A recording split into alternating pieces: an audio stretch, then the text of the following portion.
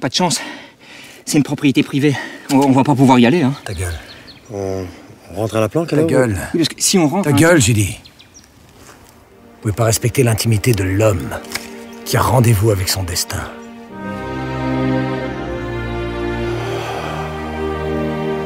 Sentez cette odeur C'est comme... Comme une odeur de victoire. Comme un premier rendez-vous amoureux. S'oublie pas une odeur pareille.